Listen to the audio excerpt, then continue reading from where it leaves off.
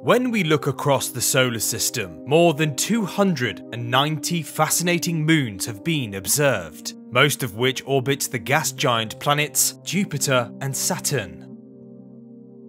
Our planet, Earth, contributes just the one to this list, the Moon. But is this big, bright grey neighbour of ours really the only natural thing orbiting us? Since the 19th century, there have been several interesting announcements from certain astronomers claiming to have discovered a new moon of Earth. The French astronomer Frédéric Petit, for example, announced in 1846 that he had observed a second moon. Although his discovery gained a lot of attention at the time, it was soon dismissed by his peers, largely because he placed it at a distance of only 11.4 kilometers from Earth which is roughly how high commercial airliners fly. German scientist Dr. George Waltemath announced in 1898 that he had located not only a second moon, but also a system of tiny moons orbiting Earth. His discovery, however, could not be confirmed and was widely considered to be false. Even the man who discovered Pluto, Clyde Tombaugh, studied the possibility of a second moon, only to release a report in 1959 that stated he had found nothing during his search. So based on these previous attempts, it seems Earth really does only have one moon. Or does it? Because there is a far more interesting answer that implies our planet has had many moon-like objects over the years, and that it currently has far more than you might think.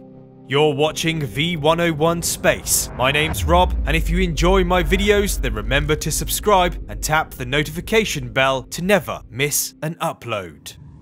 When Earth first formed around 4.5 billion years ago, as far as we know, it had no moons. But that soon changed when according to the giant impact hypothesis, a Mars-sized protoplanet nicknamed Theia collided with the young Earth, causing large chunks of debris to be blasted out into space. This orbiting material eventually coalesced and formed the magnificent moon we see today. Some astronomers have speculated, however, that there may have been a companion moon very early on in Earth's history.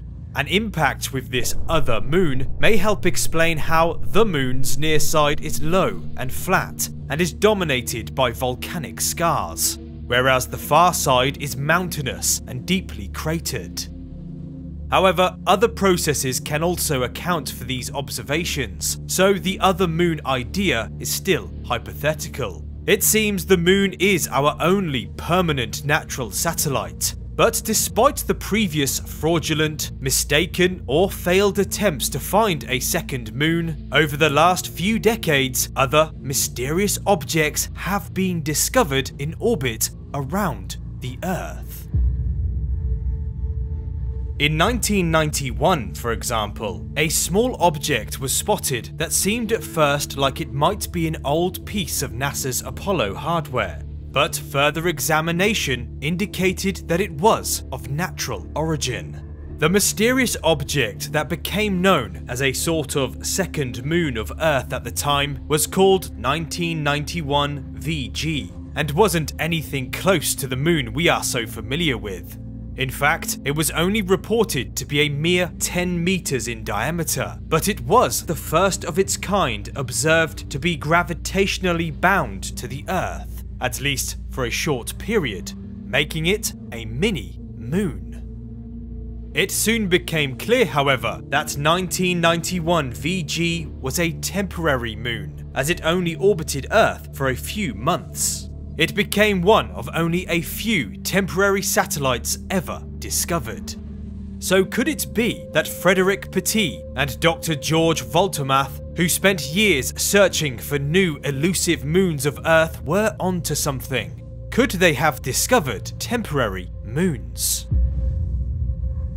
Possibly the earliest known mention of a temporary moon occurred in 1913 when an odd and still unexplained parade of meteors lit up the night sky over Canada, the northeastern United States, all the way down to Brazil. The origin of the event, called the Great Meteor Procession of 1913, is still a mystery. However, many astronomers theorized that it could have been a short-lived natural satellite of Earth. A temporary second moon that's partly burnt up in Earth's atmosphere. These momentary moons tend to be small objects which have been captured by the gravitational field of our planet and so have become our planet's natural satellite. But unlike other moons, will eventually either leave its orbit or collide with Earth. However, temporary mini-moons aren't the only things orbiting us it seems. Because in 1961, a report announced the existence of so-called ghost moons. The ghost moons, which are also called Kordylewski clouds, were reported as dust clouds, too faint to see with the unaided eye that orbited the Earth on the same path as the moon. For nearly 60 years, ghost moons remained a matter of controversy, until in 2018 when they were confirmed to exist. The clouds themselves are enormous, nearly nine times wider than Earth according to the study, and are made up of individual particles estimated to measure just a micrometer across. Sunlight reflecting off these particles make them glow ever so slightly, but they are extremely difficult to see. Although ghost moons are fascinating, they are also extremely tenuous, and they hardly seem to qualify as moons, even though they do orbit the Earth. However, there are also many other space rocks that appear to orbit the Earth, but that are more affected by the Sun's gravity. These are called quasi-satellites, or quasi-moons. They do not follow Earth's orbit, but they do take 365 days to orbit the Sun, just like our planet, making them appear to be in orbit despite being mostly outside of Earth's gravitational influence. Then we have Earth's Trojans, which again do not necessarily orbit the Earth, but instead move along the same path, just in front or just behind, in locations called Lagrange points. These are places in our solar system where the gravitational pull of any two planetary bodies, as well as the motion of their orbit, combine to create an equilibrium. They are points in space that are gravitationally stable. Objects that we send to these locations either tend to stay there naturally or can be kept there with minimal energy because the forces are in balance.